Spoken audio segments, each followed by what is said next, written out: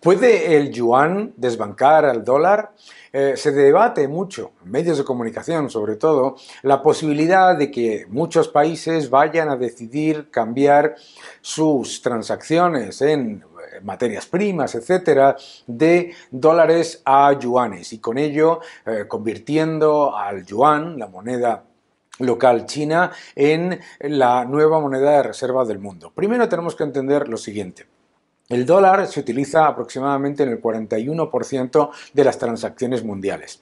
El euro, que es la segunda moneda más utilizada, está muy lejos, alrededor del 36%. Pero es que las siguientes ya están a niveles extremadamente pequeños. Eh, China, a pesar de pesar muchísimo en la economía mundial, su moneda solamente se utiliza en un 2,7% de las transacciones mundiales.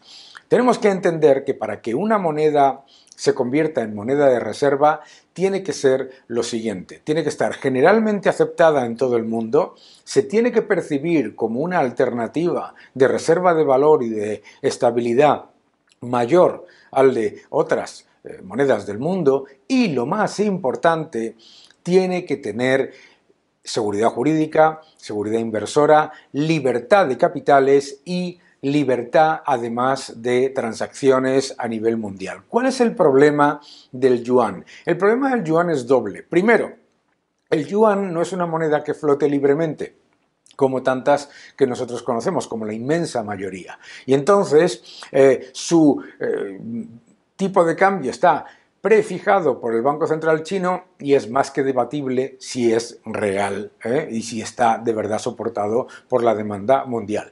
Segundo, es una moneda que tiene control de capitales. Por lo tanto, no puede desbancar al dólar cuando el gobierno que está emitiendo esa moneda, el Estado que la emite, tiene control de capitales y fijación de tipo de cambio. ¿Por qué? Porque es una moneda que no tiene en realidad soporte, liquidez, libertad y seguridad jurídica que tiene el resto. Adicionalmente, es importante también entender que la, independencia de las instituciones es clave. ¿Por qué? Porque cuando uno tiene su dinero en eh, una moneda fiduciaria y lo tiene en una cuenta bancaria o lo tiene, eh, quiere hacer transacciones, lo que quiere es que haya el máximo de seguridad jurídica y seguridad inversora cuando hace transacciones.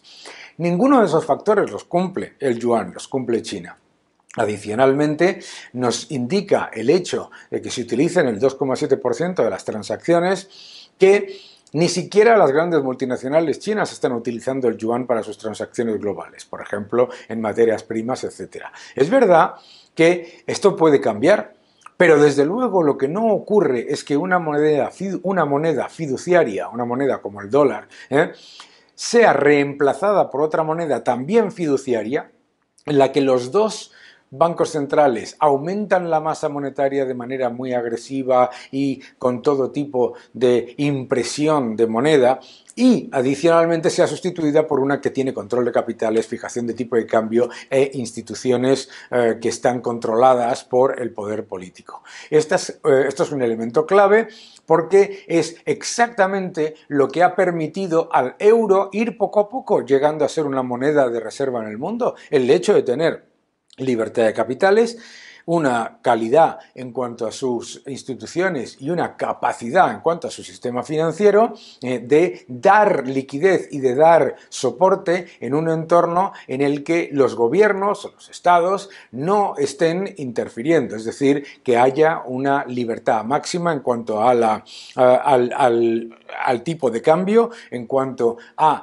la, el control en cuanto al acceso a capitales y al movimiento de los capitales y la seguridad jurídica que da. Por eso, el euro desde su creación ha pasado a ser una co-moneda de reserva, mientras el yuan se ha quedado muy lejos, ¿eh? no solamente con respecto al euro, que no tiene ni comparación, sino con respecto al peso de la economía china en la economía global. Por lo tanto, de momento no hay ninguna alternativa, ninguna alternativa real al dólar.